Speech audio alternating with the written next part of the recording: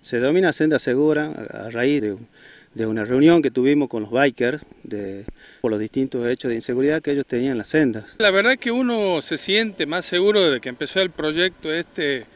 que se llama Senda Segura justamente, eh, donde nos informan diariamente, hay un grupo de WhatsApp donde los oficiales amablemente y con muchas ganas, eh, ellos informan día a día eh, con fotos, mediante fotos, a dónde están ubicados. Tengo personal en bicicleta, tengo personal en motos y cuando se montan los operativos, cuando se integran, el personal de caballería, el personal de infantería, que eso es para brindar más seguridad. Se realizó un circuito para que la gente pueda recorrerlo mucho más segura, que comprende lo que es Avenida Presidente Perón, eh, la Avenida Vascari hasta el country Jockey. Se puede subir por la senda, por el río Antayaco. Trabajamos todo lo que es el interior del río, entre la finca de Limones, subiendo hasta Orcomolle, donde tenés diversas sendas que no solo las recorren ciclistas, sino gente que hace trekking. Es verdad, y sí se nota que hay mucha más presencia policial, que ahora están en la senda.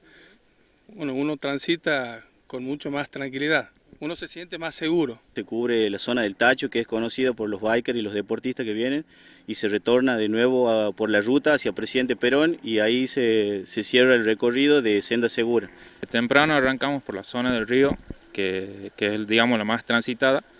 y bueno, la que últimamente se vio golpeada por el tema de los delitos. Concentramos más que nada la,